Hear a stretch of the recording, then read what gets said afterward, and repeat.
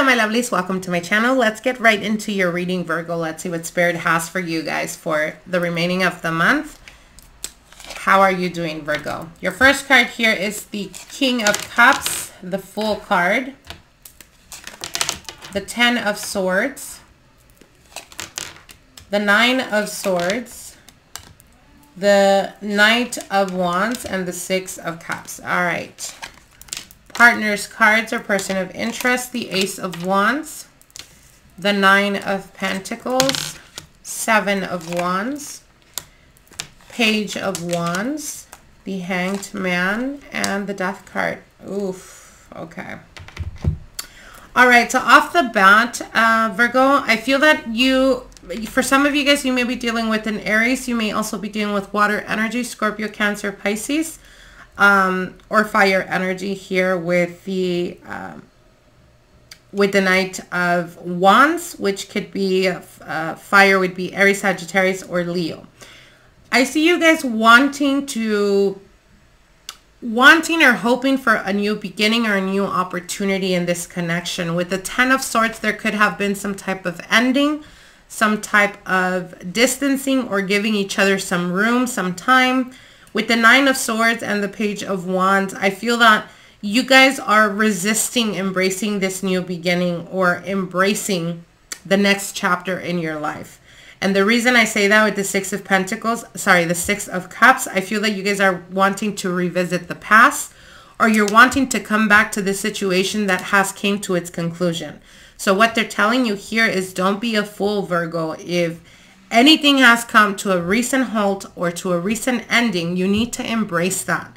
You need to flip the page. You need to move on, go to the next chapter in your life. I feel that the more you hold on to this situation, um, the more you're going to not only be wasting your time, but you're going to be losing your peace of mind. And it's very important for you guys to understand this. Now the cards that are representing your partner or person of interest, you have, they have, sorry, they have the Ace of Wands, uh, which is them pursuing or following their pursuit to their passions, what it is that excites them with the Nine of Pentacles. They're not wanting any type of commitment right now.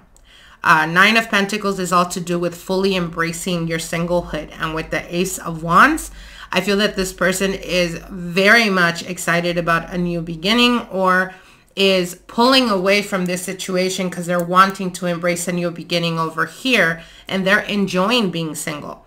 With the seven of wands, it's like they're resisting. They understand that they are not in a committed type of mentality here. I feel that this person is truly genuinely wanting to embrace being single. With the ace of wands and the page of wands, this is a person that could be um, immature and they are following their impulses. With the hanged man, there is a feeling of restriction here. So it could have been that they felt like you were trying to cage them in or you were wanting for them to elevate the, the connection, the partnership between you and them, um, which didn't sit well with them because they're, like I said, it's like they're wanting, they're going into this cycle where everything could be very exciting for them. I feel them like being introduced to different people. I see them being around a bigger crowd. Uh, this could be them being more social, etc. Um, so there is definitely a wanting to embrace a new beginning. And with the death card, in their mind, they've made up their mind and they feel that it's time to move on or they're already moving on. So again, I feel very strongly for you Virgos if you are dealing with the person that um, will pop up randomly, you know, or text you. Um, keep in mind that the reason why they're doing this is not because you're on their mind it has more to do because their passions, because their excitement has slowed down.